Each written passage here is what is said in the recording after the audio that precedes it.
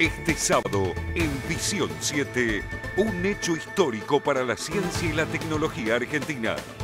En vivo desde Bariloche, la despedida de nuestro primer satélite geoestacionario. ARSAT 1, rumbo a Guayana Francesa para su lanzamiento en octubre. Con informes de científicos junto a Adrián Paenza. ARSAT 1, la comunicación del futuro, conectando a los argentinos. ARSAT 1, el camino hacia la soberanía satelital.